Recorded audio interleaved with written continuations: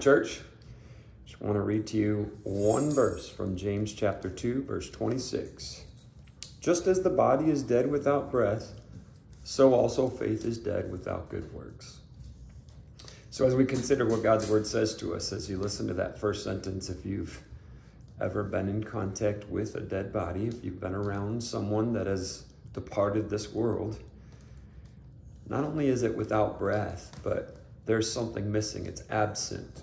It's very obvious that the person is no longer there. So it's a shell with no life. And so the Word of God is teaching us something about what it means to truly have faith.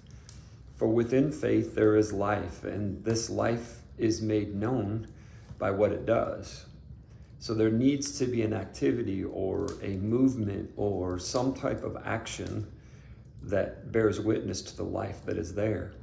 And so James is telling us that without good works, you know, your faith is dead. He's saying like there has to be evidence of life.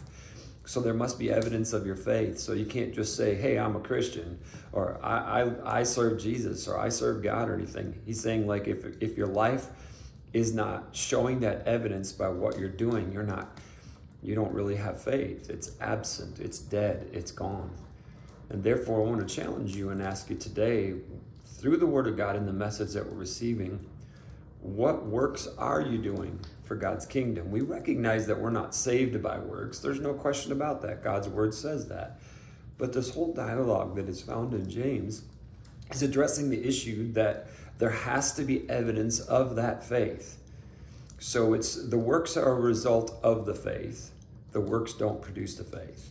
And that's critically important for us to understand as a church that no, we're not saved by what we do, we're saved by faith. But once we're saved by faith, the evidence of it is seen in what we do. Therefore, let's be an active working church for the glory of God and the evidence of the salvation that is a gift for us.